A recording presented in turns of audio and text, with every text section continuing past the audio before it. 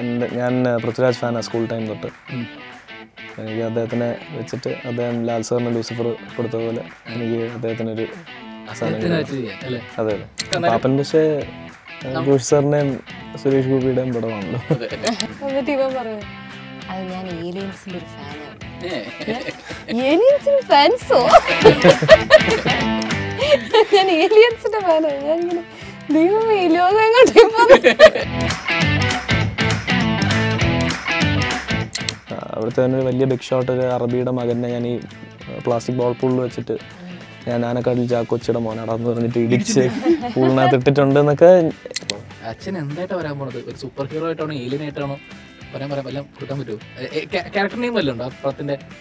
അത് ആ സിനിമയ്ക്കകത്ത് ഗഗനചാരിക്കകത്ത് തന്നെ ഞാൻ ഒരു കോമിക് ബുക്ക് ഒരു സൂപ്പർ ഹീറോ കോമിക് ബുക്ക് ഞാൻ വായിക്കുന്നതിന്റെ ഒരു ഒരു മമ്മൂക്കനെ ലാൽ സാറിനെയും അച്ഛനെയും ചെയ്യാനായിട്ടാണ്. എനിക്ക് മമ്മൂക്കനെ ചെയ്യുന്നതിൽ എനിക്ക് കുറച്ച് ചമ്മൽ എനിക്ക്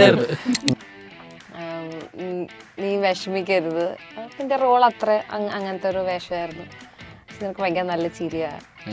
നീ രക്ഷപ്പെടും. പറഞ്ഞു. അപ്പൊ അത് എനിക്ക് ഈ ഒരു അവസരത്തിൽ.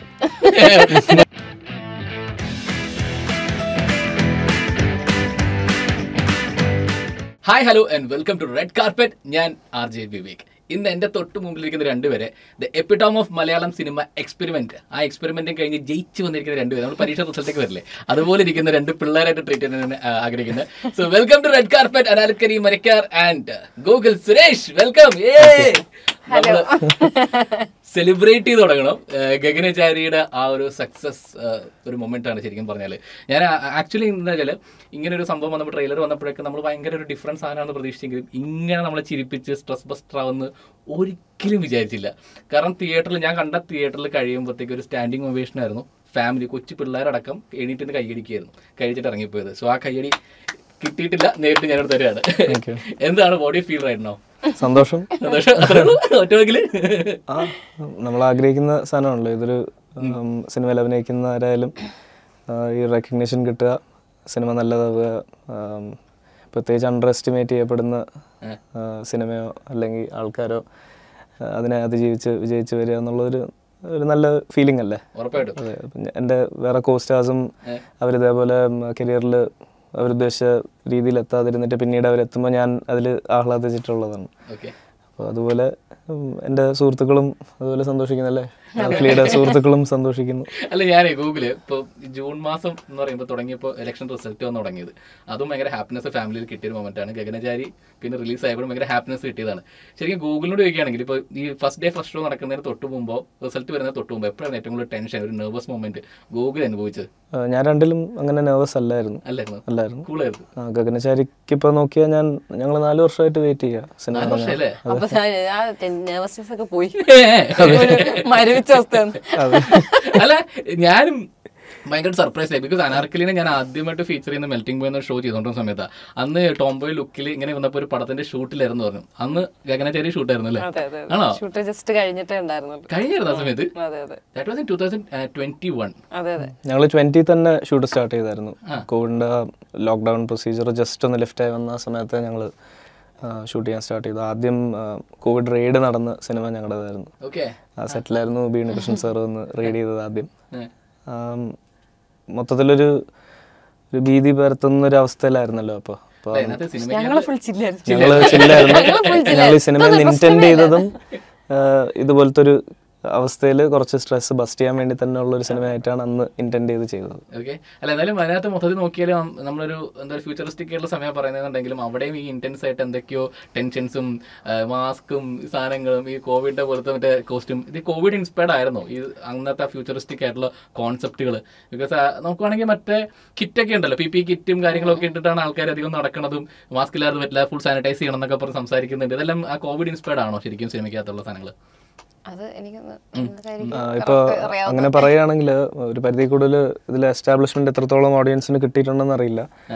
എയർ ക്വാളിറ്റി അത്രത്തോളം ഉണ്ടായിരിക്കില്ല. പിന്നെ ഈ പറഞ്ഞ കണ്ടാമിനേഷൻ ഫ്രം എക്സ്ട്രാ ടെറസ്ട്രിയൽസ് അങ്ങനത്തെ ഒരു അവസ്ഥയിലാണ് ഗഗനചാരിക്കകത്ത് കാണിക്കുന്നത്. മനുഷ്യർ വെളിയിൽ ഇറങ്ങിക്കൂടാ എന്നുള്ളൊരു സിസ്റ്റം പറയുന്നതായിട്ട് ഏലിയൻസിന്റെ അറ്റാക്ക് കാരണം. പക്ഷേ ഇതിൽ നമ്മൾ ഡിസ്കസ് ചെയ്യുന്ന മനുഷ്യന്റെ ഉള്ളിലെ ഒരു പൊളിറ്റിക്സ് ആയാലും അതിപ്പോൾ ക്ലോതിങ്ങിന്റെ ആയാലും അല്ലെങ്കിൽ റിലിജന്റെ ആയാലും ഫുഡിന്റെതായാലും എല്ലാ ഒരു പൊളിറ്റിക്സിൽ നമ്മൾ ചെറുതായിട്ടൊന്ന് ആ, ഒരു തൊട്ടും തലോടിയാണ് ഒരു നർമ്മത്തിൽ നമ്മൾ അവതരിപ്പിച്ചിരിക്കുന്നത് അപ്പോൾ അതിൽ പറയാതെ പറയാനായിട്ട് ശ്രമിച്ചതും അല്ലാതെ പറഞ്ഞു തന്നെ അറിയിക്കാനായിട്ട് ശ്രമിച്ചതായിട്ടുള്ള കുറേ പശ്ചാത്തലങ്ങൾ സിനിമയ്ക്കകത്തുണ്ട്. അത് നമ്മൾ കൂടുതൽ സീരിയസ് ആയിട്ട് നമ്മൾ അതിനെ അതിലോട്ട് എത്താനായിട്ട് ശ്രമിക്കുകയാണെങ്കിൽ ചിലപ്പം ഓഡിയൻസിന് ഇത്രയും അത് അത് ബൈ ചെയ്യാനായിട്ട് ചിലപ്പം തോന്നണമെന്നില്ല. അപ്പോൾ അതിൽ നർമ്മത്തിന്റെ ഒരു കലർത്തി അത് അവതരിപ്പിക്കുമ്പം കുറച്ച് അവർക്ക് അതിൽ പറയുന്ന പൊളിറ്റിക്സിനോട് വിരോധം തോന്നിയാലും അത് കുറച്ച് അക്സെപ്റ്റ് ചെയ്യാനായിട്ട് തോന്നുന്ന ഒരു പാറ്റേൺ അരുൺ ചേട്ടൻ ഇതിൽ പിടിച്ചിരിക്കുന്നത്. എനിക്ക് അങ്ങനെയാണ് അത് തോന്നിയിട്ടുള്ളത്. ഓക്കെ ട്വന്റി ട്വന്റി ഫോറിലെ ഏറ്റവും വലിയ സംഭവം എന്താ വെച്ചാൽ മമ്മൂക്ക ചാത്തനായിട്ട് അഭിനയിച്ചു. ഇവിടെ അനാർക്കലി ഏലിയനായിട്ട് അഭിനയിച്ചു. എന്നിട്ട് നമ്മൾ ഏലിയാമെന്ന് വിളിച്ചു നടക്കണം. സോ എന്തായിരുന്നു ഒരു ഏലിയനായിട്ട് അഭിനയിക്കുക എന്ന് പറയുമ്പോൾ ഫസ്റ്റ് എന്തെങ്കിലും റെഫറൻസ് പോയിന്റ് ഒക്കെ നമ്മൾ ഏതെങ്കിലും ക്യാരക്ടർ വരുമ്പോൾ ചോദിക്കില്ല? നോക്കില്ലേ? ഇതിന് വല്ല ഉണ്ടായിരുന്നു അങ്ങനെ? ഇല്ല? അങ്ങനെ ഒരു റെഫറൻസ് ഒന്നും എടുക്കേണ്ട. അതൊന്നും ഇല്ലായിരുന്നു. കാര്യം നമ്മൾ അങ്ങനെ അധികം ഏലിയൻസിന്. പി അതെ പി കെ ഒക്കെ അതൊക്കെ കുറെ ഈ- കണ്ണ് കണ്ണടക്കാതിരിക്കാൻ ചിലയിടത്തൊക്കെ ചെറുതായിട്ട് അടച്ചിട്ടുണ്ട്. എന്നാലും കണ്ണട മാക്സിമം എല്ലാ സീനുകളിലും കണ്ണടയ്ക്കാതിരിക്കാൻ ആ, ശ്രമിച്ചിട്ടുണ്ട്. ആ ഞാൻ ഈ കഴിഞ്ഞ ദിവസം കണ്ടപ്പോ ഒരു ഒന്ന് രണ്ട് സ്ഥലത്തെ അറിയാതെ. എത്ര നേരം അപ്പൊ അങ്ങനെ അങ്ങനെ കണ്ണും കുറെ നേരമൊക്കെ ഇങ്ങനെ തുറന്നു വെക്കാൻ ശ്രമിച്ചിട്ടുണ്ട്. പിന്നെ. അധികം റെഫറൻസസ് ഒന്നും എടുക്കേണ്ട വന്നില്ല. പക്ഷെ ഞാൻ തന്നെ ആലോചിച്ചെടുത്ത് അല്ലെങ്കിൽ ചന്തുമായിട്ട് സംസാരിക്കുമ്പോഴും ആലോചിച്ചെടുത്ത് നമ്മൾ കുറച്ച് അത്ര എക്സ്പ്രസീവ് ആയിരിക്കില്ല. അറിയില്ലല്ലോ ഹ്യൂമൻ ഇമോഷൻസിനെ പറ്റി ഏലിയൻ അറിയില്ല. അപ്പോ ആ, പക്ഷെ ടുവേർഡ്സ് ദി എൻഡ് കുറച്ചുകൂടെ ഇവരുടെ കൂടെ ഒക്കെ കൂടി കുറച്ചുകൂടെ ഹ്യൂമൻ ഇമോഷൻസ് വരുന്നുണ്ട് ആൾക്ക്. മനസ്സിലായി. അത് പടത്തിൽ വരുന്നുണ്ട്. നമ്മൾ ഈ ഗഗനേരി കാണുമ്പോൾ ഏറ്റവും വലിയൊരു സംഭവം വെച്ചാൽ നമ്മൾ കണ്ടുകൊണ്ടിരുന്ന സ്ഥിരം ഒരു സിനിമ കാണുന്ന ഒരു പാറ്റേണിലെ അല്ല പടം. നമ്മൾ ഡോക്യൂ ഫിക്ഷൻ അങ്ങനത്തെ ഒരു സാധനമായിട്ടാണ് പോണത്. നമ്മൾ ഇതേവരെ കണ്ട് നമ്മൾ ഒരു ബിഗ് സ്ക്രീനിൽ അങ്ങനെ കണ്ട് ശീലിക്കാത്ത ഒരു ഫോമാറ്റാണ് പടം. കഥ എങ്ങോട്ടാ പോണെന്നൊരു പിടുത്തം കിട്ടില്ല. പക്ഷെ will be engage entertained fully last ആ ടൈറ്റിൽ കാർഡ് കഴിഞ്ഞിട്ടുള്ള ക്രെഡിറ്റ് സീൻ കാണുന്ന ആനിമേഷൻ കഥ വരെയും നമ്മൾ കണ്ടിരിക്കും. അപ്പോൾ അതുപോലെ സാധനം പോകുമ്പോൾ ഇത് ഒരു ഞാൻ ആലോചിച്ചായിരുന്നു എങ്ങനെ ഒരു പ്രൊഡ്യൂസറോടും ഒരു ആക്ടേഴ്സിനോടും ഈ ഡയറക്ടർ ഇത് എങ്ങനെ ഈ കഥ പറഞ്ഞിട്ടുണ്ടാവുക എന്നൊരു തോട്ട് ഉണ്ടായിരുന്നു. ഇത് എങ്ങനെ നിങ്ങളോട് ഈ കഥ അവതരിപ്പിച്ചത്? ഫസ്റ്റ് അരുൺ ചന്ദ് എന്ന ഡയറക്ടർ വന്നിട്ട്. എന്നോട് ഇവരെ എനിക്കൊന്ന് ഇതിനു മുമ്പേ ഇതിനെപ്പറ്റി ഡിസ്കസ് ചെയ്യുകയും കാര്യം ഇങ്ങനത്തെ കുറെ out of the box Marvel D C ഇതൊക്കെ ആയിട്ട് റിലേറ്റ് ആവുന്ന കുറെ അതിൽ നിന്നുള്ള conspiracies Simpsons Rick and Morty ഇങ്ങനത്തെ പ്രേക്ഷകൻ പ്രേക്ഷകന് അരുൺ ചേട്ടൻ ബേസിക്കലി പുള്ളിക്ക് ഇങ്ങനത്തെ തോട്ട്സ് ഞങ്ങൾ സാധാരണ വാർത്തകൾ ചെയ്യുമ്പോൾ തൊട്ട് ഉള്ളതാണ്. ഞങ്ങൾ തമാശ രൂപേണ ഇങ്ങനെ ഇരുന്നല്ലാതെ സംസാരിക്കും അങ്ങനത്തെ കാര്യങ്ങളേ ഉള്ളൂ. പിന്നെ അദ്ദേഹം അത്യാവശ്യം വളരെ നല്ല മിടുക്കനാണ് കഥ പറഞ്ഞിട്ട് കൺവിൻസ് ചെയ്യാനായിട്ട്. നമ്മൾ അറിയാതെ അതിനകത്തോട്ട് എനിക്കങ്ങനെ ഫീൽ ചെയ്തിട്ടുള്ളൂ. ആൾ പറയുന്ന ആ സിനിമയുടെ ആ സ്റ്റോറി ലൈൻ ആ തോട്ട് പ്രോസസ്സിനകത്തോട്ട് നമ്മൾ പെട്ടെന്ന് ഇങ്ങനെ കയറുന്ന പോലെ. ഗണേശ് സാറിനെ പോലൊരു ഒരു വെറ്ററൻ ഈ കോൺസെപ്റ്റായിട്ട് ചേർന്ന് വരണം എന്നുണ്ടെങ്കിൽ തന്നെ അതിന്റെ ഒരു ആ വ്യക്തതയാണല്ലോ അത് ഗണേഷ് കുമാർ സാറിന്റെ ഒരു എനിക്ക് തോന്നുന്നത് ഏറ്റവും അടുത്ത് കണ്ടതിൽ മാത്രമല്ല കരിയറിൽ കണ്ട ഏറ്റവും കിട്ടിയ പെർഫോമൻസുകൾ ഒന്നാണത് അപ്പൊ അത് മാത്രമല്ല പുള്ളിക്കാരെ നമ്മൾ ഒരിക്കലും നമ്മൾ പ്രതീക്ഷിക്കുന്നില്ല ഇങ്ങനെ ഒരു കഥാപാത്രമായിട്ട് നിങ്ങളുടെ എല്ലാവരുടെയും ലുക്ക് ആണെങ്കിലും നിങ്ങളുടെ പെർഫോമൻസ് ആണ് നമ്മൾ ഇത് പ്രതീക്ഷിക്കുന്നില്ല ഇങ്ങനെ ഒരു സംഭവമായിട്ട് മാറുന്നൊന്നും പ്രതീക്ഷിക്കുന്നില്ല അപ്പം ഈ ഗഗനചാരി എന്നുള്ള പേര് തന്നെയായിരുന്നു തുടക്കത്തിലും അതോ പേരിലും ഒക്കെ ഞാൻ ഗന്ധർവനിൽ ഒരു സേയിങ് ആണ് നമ്മുടെ ഗന്ധർവനെ വിശേഷിപ്പിക്കുന്ന ഒരു വാചകമാണ് Gaganachari being of the sky അല്ലെങ്കിൽ സ്കൈ നിന്ന് വരുന്ന അങ്ങനെ അങ്ങനെ ആയിട്ടാണല്ലോ സങ്കല്പിക്കുന്നത്. അതിൽ ഞാൻ ഗന്ധർവനിലുള്ളൊരു വരിയാണ് ഗഗനചാരി എന്ന് വിശേഷിപ്പിക്കുന്ന അപ്പോൾ സ്കൈ നിന്ന് വരുന്ന ആ ബീയിങ് ആണ് ഇതിനായിരുന്നു സ്കൂളിൽ മലയാളമായിരുന്നു. മലയാളമായിരുന്നു. എന്റെ സെക്കൻഡ് ലാംഗ്വേജ് മലയാളം. അന്ന് ഈ വാക്കുകൾ കാര്യങ്ങളൊക്കെ യൂസ്ഡ് ആയിരുന്നു. കാരണം ഫസ്റ്റ് എനിക്ക് തോന്നുന്നു എനിക്ക് ആദ്യം മനസ്സിലായിട്ടൊന്നുമില്ല ചോദിച്ചപ്പോഴായോ ഇതാണ് അപ്പോ മനസ്സിലായത്. അല്ല എന്നാലും എനിക്ക് ഇപ്പൊ ഏലിയന്റെ കാര്യം കൂടുതൽ വെക്കണമെന്നുണ്ട് കാരണം അതിനകത്ത് ടോം റൈഡർ നമ്മൾ കണ്ട സാധനം. ഒരു എന്താ പറയാ ടോം റൈഡർ ആണ് കിൽബില്ലാണ് വണ്ടർ വുമൺ ഒക്കെ ഉണ്ട്. ഇതൊക്കെ? ഇതൊക്കെ റെഫറൻസ് ഉണ്ടായിരുന്നു. കോസ്റ്റ്യൂംസ് ആണെങ്കിലും ഒക്കെ ചെയ്യുമ്പോ. ഇല്ല ഒന്നുമില്ല. I mean costume climax costume pace homage to climax costume Kill Bill കിൽബിലിന്റെ എനിക്കറിയാം. പിന്നെ അതിന്റെ ചില ഷോർട്സ് വരെ പുള്ളി റെഫറൻസ് എടുത്ത് ഞാൻ വന്ന് രാഘവനോട് എ ഐനോട് സംസാരിക്കാനായിട്ട് ഞാൻ വന്നിങ്ങനെ ഇരിക്കുന്ന ഒരു ഇങ്ങനെ കാര്യമായിട്ട് വന്നിരിക്കുന്ന ഒരു അത് ഏതോ ഒരു റെഫറൻസ് ആണെന്ന് എന്നോട് പറഞ്ഞത്. ഏത് അറിയാം അത് ശരിക്കും പറഞ്ഞാൽ മാസാണത് ഉദ്ദേശിക്കുന്നത്. വളരെ സട്ടിലായിട്ടുള്ള മാസം. അതായത് ഇരുന്ന് കഴിഞ്ഞിട്ടാ ഞാൻ ഒന്ന് ഇരിക്കുവാണേ എന്ന് പറയുന്നത്. അത് അതൊരു അതൊക്കെ ഒരു റെഫറൻസാ അതൊക്കെ ആക്ച്വലി ഞാൻ പിന്നെ ഫ്രണ്ട്സ് കൂടുതൽ സിനിമകൾ കാണുന്ന ഫ്രണ്ട്സ് ഉള്ളത് കൊണ്ട് അവർ പറയുമ്പോൾ ഇത് ഈ സീന്റെ റെഫറൻസ് ആണ്. അപ്പോൾ അവർ ആ സീൻ കാണിച്ചു. ഞാനിങ്ങനെ ഓഹോ. ഇത് ഷൂട്ട് ചെയ്യുന്ന സമയത്ത് ഒന്നും മനസ്സിലായിട്ടൊന്നുമില്ല. ഇപ്പം തമാശകളാണെങ്കിലും കുറേയൊക്കെ റെഫറൻസ് ബേസ്ഡ് ആണ്. ഇത് ഇതൊന്നും എനിക്ക് ആ സമയത്ത് കത്തിയിട്ടുണ്ടായില്ല. കത്തിയിട്ടുണ്ടായില്ല. പിന്നെ ഇത് ഷൂട്ടിംഗ് സമയത്ത് എനിക്കൊന്നും മനസ്സിലായിട്ടുണ്ടായില്ല. ഇത് എന്തോ ഒരു രസമുള്ളൊരു സബ്ജക്റ്റ് ആണ്. ഡിഫറെന്റ് ആയിട്ടുള്ള ഒരു പരിപാടിയാണ് എന്ന് മാത്രം എനിക്കറിയാം. പക്ഷെ ഇതിന്റെ ഒരു സോൾ എന്താണെന്ന് ഏറ്റവും കൂടുതൽ അറിയാവുന്നത് അരുൺ ചേട്ടൻ മാത്രമായിരുന്നു. ബാക്കി ആർക്കും ഇത് ബാക്കി ഇവൻ അറിയായിരിക്കും. പക്ഷെ എനിക്ക് തീരെ ഒരു ഐഡിയ ഇല്ലായിരുന്നു. ആദ്യമായിട്ട് ഔട്ട് കാണുമ്പോഴാണ് ഞാൻ ഓ ഇതായിരുന്നല്ലേ പടം എന്നെനിക്ക് മനസ്സിലാവുന്നത്. പക്ഷെ എനിക്ക് തോന്നുന്നു അവിടെ ഉണ്ടാകുന്ന മെജോറിറ്റി ആൾക്കാർക്ക് ഇതെന്താ ഷൂട്ട് ചെയ്യുന്നതെന്ന് മനസ്സിലായിട്ടുണ്ടാവില്ല. കാര്യം അങ്ങനത്തെ ഒരു മേക്കിങ്ങും പരിപാടിയായിരുന്നു. ഭയങ്കര യുണീക്ക് ആയിട്ടുള്ള ഒരു സെറ്റും അതിന്റെ ഈ ട്രീറ്റ്മെന്റ് ഒക്കെ ഭയങ്കര യുണീക്ക് ആയിരുന്നു ഷൂട്ട് ചെയ്യുന്ന സമയത്ത്. ഓക്കെ. അല്ല ഗൂഗിൾ ഇപ്പോൾ ഇപ്പോൾ ലാസ്റ്റ് ടൈം നമ്മൾ സൈന വാർത്തകളുടെ സമയത്ത് ഒരിക്കൽ നമ്മൾ സംസാരിച്ചപ്പോഴും ഗൂഗിൾ പറഞ്ഞൊരു കാര്യമുണ്ട്. ഫോഴ്സ്ഫുള്ളി അച്ഛന്റെ മാനറസും അച്ഛന്റെ ഡയലോഗുകൾ പറയിപ്പിക്കുന്നത് എനിക്ക് ഇഷ്ടമല്ല. പക്ഷെ ഞാൻ അതിനുശേഷം കാണുന്ന പാപ്പൻ അച്ഛന്റെ മുമ്പിൽ തന്നെ അച്ഛനെ ഇമിറ്റേറ്റ് ചെയ്യുന്ന ഒരു ഗൂഗിൾ സുരേഷിനെയാണ്. ഇപ്പോൾ അത് എങ്ങനെയാണ് എങ്ങനെയാണ് ടേക്കപ്പ് ചെയ്യുന്നത്? കാരണം കൂടുതൽ ഗൂഗിൾ സുരേഷ് ടു സുരേഷ് ഗോപിയോ റെഫറൻസുകൾ സിനിമയ്ക്കകത്ത് വരുമ്പോഴത്തേക്കും അക്സെപ്റ്റ് ചെയ്യുന്നുണ്ടോ? അതോ മാക്സിമം ഒഴിവാക്കുകയാണോ ഇപ്പോഴും? മാക്സിമം ഒഴിവാക്കുക. പിന്നെ കുറെ നാൾ കഴിഞ്ഞിട്ട് പാപ്പനിലാണ് ഒരു അങ്ങനെ ഒരു സാധനം വന്നതായിട്ട് തോന്നിയത് പിന്നെ സാധനം ഇതിൽ ഗഗനചാരി വന്നത്. അച്ഛന് തന്നെ എന്തായിരുന്നു ഫസ്റ്റ് റിയാക്ഷൻ അവിടെ ജോഷി സാറ് പറയുക അത് ചെയ്യാനായിട്ട്. പിന്നെ നമുക്ക് ചെയ്യില്ലല്ലോ ചെയ്യില്ല നീ ഒന്ന് ചെയ്ത് നോക്കിയേ എന്ന് പറയുക മമ്മൂക്കനെ ലാൽ സാറിനെയും അച്ഛനെയും ചെയ്യാനായിട്ടാണ്. വന്നത് എനിക്ക് മമ്മൂക്കനെ ചെയ്യുന്നതിൽ എനിക്ക് കുറച്ച് ചമ്മൽ എനിക്ക് എന്ന് വെച്ചാൽ എനിക്ക് അത് കറക്റ്റായിട്ട് ചെയ്യാൻ പറ്റില്ലെങ്കിൽ അത് മോശമല്ല എന്നുള്ള ഒരു ബേസിക് റെഫറൻസ് എങ്കിലും പിടിച്ചില്ലെങ്കിൽ ഒട്ടും റിലേറ്റബിൾ അല്ലാതെ സ്ക്രീനിൽ വന്നാൽ അതൊരു ബോറല്ല എന്നുള്ളത് ഒരു ലെങ്തി സീനായിരുന്നു ഫോർ ആൻഡ് ഹാഫ് മിനിറ്റ്സോളം സിംഗിൾ ടേക്ക് പോയിരുന്നതായിരുന്നു. അപ്പോൾ അതിൽ പിന്നെ ഞാൻ തന്നെ അതിനെ മോഡിഫൈ ചെയ്ത് അച്ഛന്റെ ഒരു വേർഷൻ ആക്കി അതിനെ ചെയ്തത് റിയൽ ലൈഫിൽ ചെയ്തിട്ടുണ്ട് അച്ഛൻ മുമ്പിൽ അച്ഛനെ? തന്നെ ഇല്ലില്ല ഞാൻ ആ പാപ്പന്റെ അവിടെ വെച്ച് മാത്രമേ ചെയ്തിട്ടുള്ളൂ. Very first and last time അതെ ഹോപ്പ്ഫുള്ളി അത് അച്ഛന്റെ മുമ്പിൽ ചെയ്തിട്ടില്ലല്ലോ പക്ഷെ. അച്ഛന്റെ മുമ്പിൽ ചെയ്യണത് very first and last time sound വരുന്ന കുറച്ച് സാധനങ്ങൾ ശരിക്കും ഗഗനചാരിയുടെ തന്നെ സീക്വലോ അല്ലെങ്കിൽ സ്പിൻ ഓഫ്സോ ആയിട്ട് വരാൻ സാധ്യതയുള്ള കുറച്ച് സൂപ്പർ ഹീറോ തോട്ട്സ് ഇരിപ്പുണ്ട്. അത് കുറച്ച് ഈസ്റ്റർ എഗ് ആയിട്ട് സിനിമയിൽ വിട്ടിട്ടുണ്ട്. അപ്പോൾ അതിൽ അതിന്റെ ഒരു റെഫറൻസ് ആയിട്ടാണ് അച്ഛന്റെ ശബ്ദം അതിൽ കൊടുത്തിരിക്കുന്നത്. അച്ഛൻ വരുമോ അരുൺ ചേട്ടന്റെ ഡേറ്റ് കൊടുത്തിട്ടുണ്ട്. അത് കൊടുത്തിട്ടുണ്ട്. ഐ മീൻ സ്പിൻ ഓഫ് ആയിട്ടാണ് സീക്വൽ അല്ല. ഗഗനചാരിയുടെ സ്പിൻ ഓഫ് വന്നതിന് ശേഷം ഐ മീൻ ഇപ്പോൾ മാർവലിൽ ശ്രദ്ധിക്കുകയാണെങ്കിൽ ഇൻക്രെഡിബിൾ ഹൾക്കിനകത്ത് അയൺമാനെ ആദ്യം ഇൻട്രൊഡ്യൂസ് ചെയ്യുന്നത്. പക്ഷേ അയൺമാനിൽ അയൺമാന്റെ ഒരു സെഗ്മെന്റ് ആയിട്ടാണ് വേറെ വരുന്നത്. അതിനകത്താണ് അടുത്തൊരു അവഞ്ചറിനെ ഇൻട്രൊഡ്യൂസ് ചെയ്യുന്നത്. അങ്ങനെയാണല്ലോ നമുക്ക് ആ ടെംപ്ലറ്റ് ഫോം ചെയ്തിരിക്കുന്നത്. ഇപ്പോൾ ഗഗനചാരിക്കകത്ത് ഗഗനചാരിയുടെ സീക്വലിലോട്ട് ഒരു ടൈം ഫ്രെയിം പോകാനായിട്ട് ഒരു വഴി വിട്ടിട്ടുണ്ട്. അത് പക്ഷെ ടോട്ടലി ഇതിന്റെ സ്പിൻ ഓഫ് ആയിട്ട് വരുന്ന ഒരു സിനിമയ്ക്കകത്താണ് ഗഗനചാരിക്കുള്ള സീക്വലിനുള്ള വഴി വിട്ടിരിക്കുന്നത്. നമ്മൾ അങ്ങനെ ക്ലെയിം ചെയ്ത് അതിനെ ഒരു ഓവർ ഹൈപ്പ് ചെയ്യുന്നില്ല അതിനെ യൂണിവേഴ്സ് ആയിട്ട് ഓർഗാനിക്കലി തോന്നാൻ വേണ്ടിയിട്ടുള്ള ഒരു പാറ്റേണിലാണ് അരുൺ ചേട്ടൻ ക്രിയേറ്റ് ചെയ്യാനായിട്ട് ശ്രമിക്കുന്നത്. അച്ഛൻ എന്തായിട്ടാ വരാൻ പോണത്? ഒരു സൂപ്പർ ഹീറോ ആയിട്ടാണോ ഏലിയൻ ആയിട്ടാണോ? പറയാൻ പറയാൻ വല്ലതും കൊടുക്കാൻ പറ്റുമോ ക്യാരക്ടർ നെയിം വല്ലതും ഉണ്ടോ പടത്തിന്റെ? അത് ആ സിനിമയ്ക്കകത്ത് ഗഗനചാരിക്കകത്ത് തന്നെ ഞാൻ ഒരു കോമിക് ബുക്ക് ഒരു സൂപ്പർ ഹീറോ കോമിക് ബുക്ക് ഞാൻ വായിക്കുന്നതിന്റെ ഒരു ഒരു ഒരു സംഭവമുണ്ട്. അതാണ് ടൈറ്റിൽ അത് ഇനി കണ്ടുപിടിക്കട്ടെ. എന്ത് എന്ത് ചിറ്റപ്പൻ? വരട്ടെ. എന്ത് ചിറ്റപ്പൻ? ഭയങ്കര quirky ആയിരിക്കും. എന്നാലും എന്ത് ചിറ്റപ്പൻ? മണിയൻ. മണിയൻ ചിറ്റപ്പൻ. ഒരു പവർ പാക്ഡ് മണിയൻ ചിറ്റപ്പനായിട്ട്. Oh, അതും വളരെ അൾട്രാ ഫ്യൂച്ചറിസ്റ്റിക് ആയിട്ടുള്ള ഗഗനചാരിന്റെ ഈ റെഫറൻസസ് വർക്ക് ആയെന്നുണ്ടെങ്കിൽ തീർച്ചയായിട്ടും വർക്ക് ആവാൻ സാധ്യതയുള്ള കുറേ റെഫറൻസസ് കൊണ്ടുവരുന്ന സിനിമയാണ് അതിനകത്ത് ഈ പറയുന്ന ഗഗനചാരി എന്നുള്ള ക്യാരക്ടേഴ്സ് ഒന്ന് റീ എൻട്രി വന്നു കഴിഞ്ഞാൽ ഗഗനചാരിക്കുള്ള സീക്വലിനും സാധ്യതയാണ്. ശ്ശെ, മണിയൻ ചിറ്റപ്പനും അലനും ഏലിയാമയും.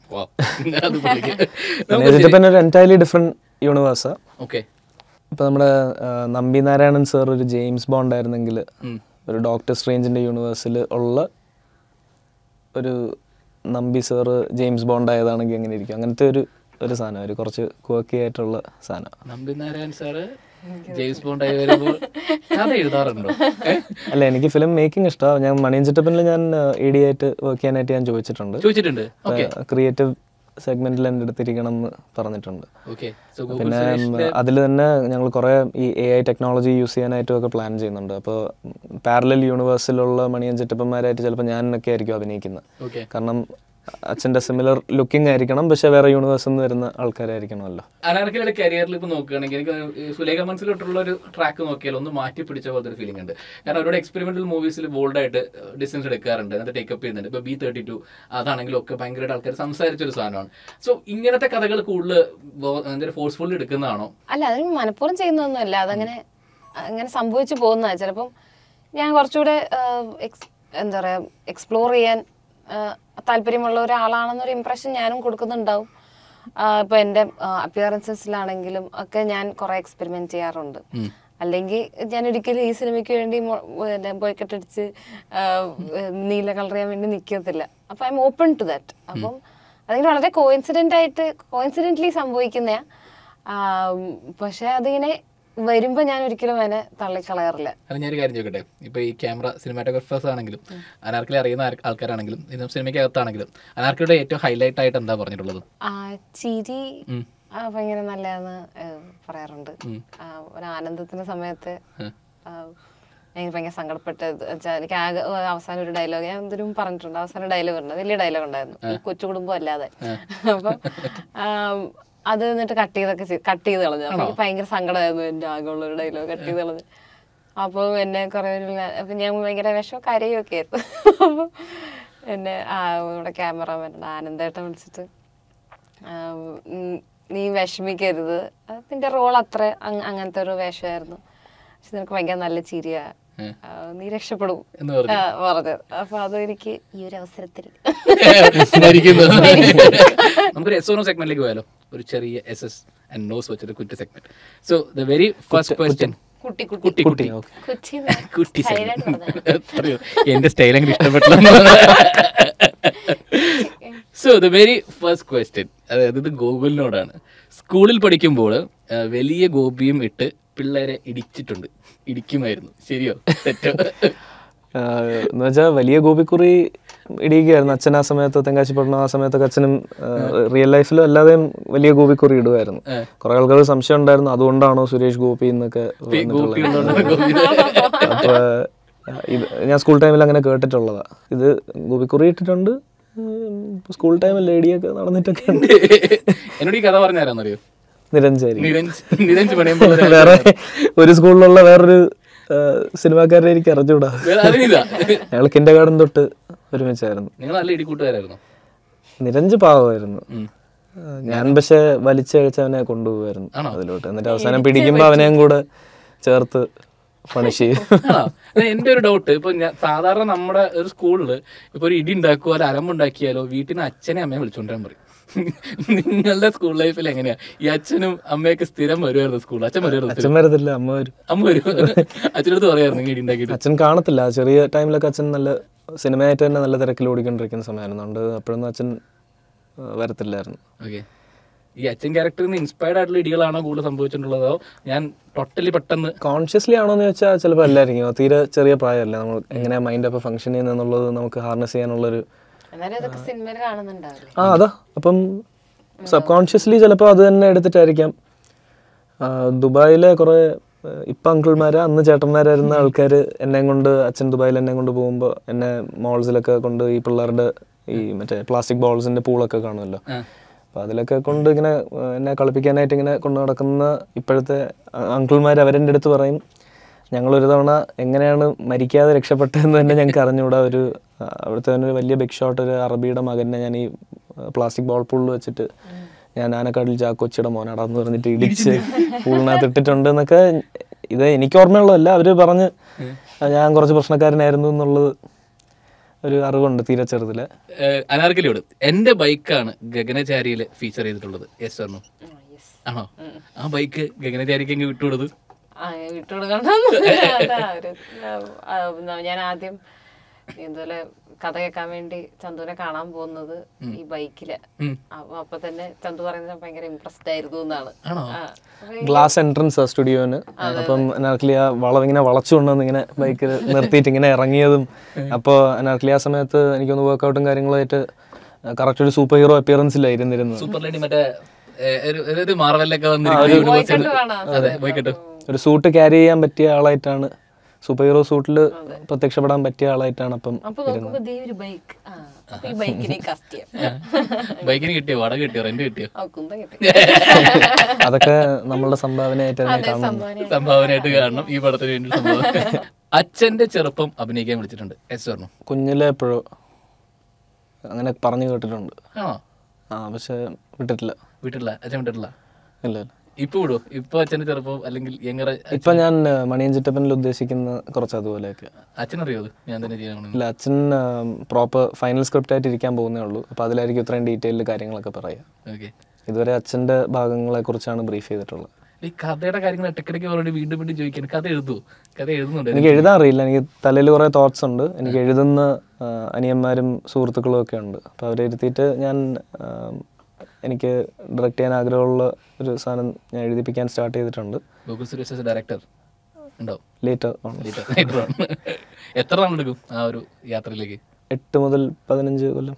അത്ര എടുക്കും? അത്ര എടുക്കും. അത്ര അതിനുള്ള ഒരു തയ്യാറെടുപ്പ് തുടങ്ങി കഴിഞ്ഞു എനിക്ക് ഡയറക്റ്റ് ചെയ്യാൻ ആഗ്രഹം ആക്ഷൻ പടമാണ് ഓക്കെ ജോൺ വിക് എക്സ്പെൻഡബിൾസ് അങ്ങനത്തെ ഒക്കെ മൂവീസ് എനിക്ക് ഭയങ്കര ഇഷ്ടമാണ് ടെർമിനേറ്റർ അങ്ങനത്തെ മൂവീസ് എനിക്ക് കൂടുതൽ ഇഷ്ടം.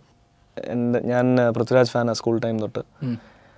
എനിക്ക് അദ്ദേഹത്തിനെ വെച്ചിട്ട് അദ്ദേഹം ലാൽ സാറിന് ലൂസിഫർ കൊടുത്ത പോലെ എനിക്ക് അദ്ദേഹത്തിനൊരു അദ്ദേഹത്തിന് വെച്ച് ചെയ്യാൻ അല്ലേ? അതെ അതെ. അപ്പോൾ നെക്സ്റ്റ് ക്വസ്റ്റ്യൻ ഇപ്പോൾ അച്ഛനോട് ശുപാർശ ചെയ്യാനോ അച്ഛന്റെ അടുത്ത് കൺവേ ചെയ്യാനോ ഉള്ള പരാതികളോ ആശംസകളോ എന്തെങ്കിലുമൊക്കെ സ്ഥിരം വരാറുണ്ടോ? വന്നു കഴിഞ്ഞാൽ ടേക്കപ്പ് ചെയ്യോ?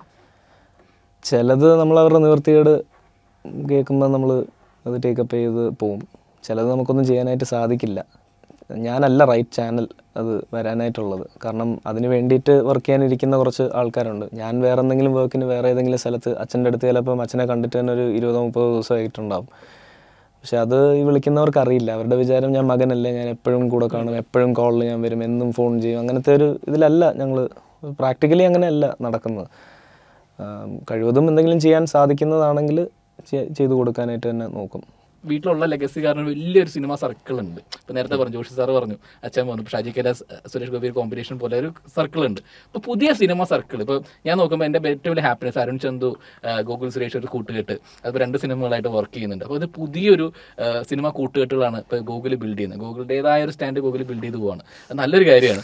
ഇത് ബിൽഡ് ചെയ്യാൻ എന്റെ തൽക്കാലം എന്റെ പ്രിയദർശൻ സാറും ജോഷി സാറും ഷാജി കൈലാസ് സാറും അൻവർ റഷീദ് സാറും എല്ലാം വരച്ചത് എന്നെ കൊണ്ട് സായന വാർത്തകളിൽ വളരെ എനിക്ക് ഏറ്റവും ഇഷ്ടപ്പെട്ട ഞാൻ വർക്ക് ചെയ്ത മൂവി എനിക്ക് സായന വാർത്തകളാണ് അതിന്റെ പശ്ചാത്തലം എന്ന് പറയുന്നത് തന്നെ വാർത്തകൾ എന്നുള്ളതായതുകൊണ്ട് ഞങ്ങൾ രണ്ടായിരത്തി പതിനെട്ട് ഷൂട്ട് ചെയ്തപ്പോൾ ഞങ്ങൾ ഗഗനചാരിയിൽ കുറേ കോൺസ്പിറസീസും കുറേ എന്താ പ്രശ്നം ഏറിയ സംഭാഷണങ്ങളും ഏരിയാസും ഒക്കെ ഉണ്ടല്ലോ. അതുപോലെ ഞങ്ങൾ വളരെ ഡയറക്റ്റായിട്ട് തന്നെ സായന വാർത്തകളിലും കുറേ കോണ്ടന്റ് ഞങ്ങൾ ഉണ്ടായിരുന്നു. പക്ഷെ അത് കാലം തെറ്റി പറന്നു പോയ ഒരു യമകൾ പടമായതുകൊണ്ട്.